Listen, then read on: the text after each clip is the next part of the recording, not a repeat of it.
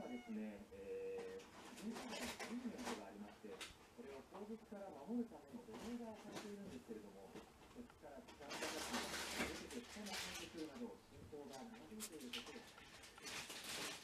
え同じ広場にはですね、このように、えロシア軍のミサイルの残骸ですとか、特には壊れた戦車などが設置されています。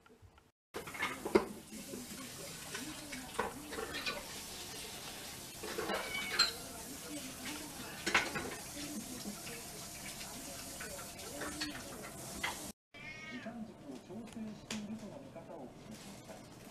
一方、日米韓3カ国は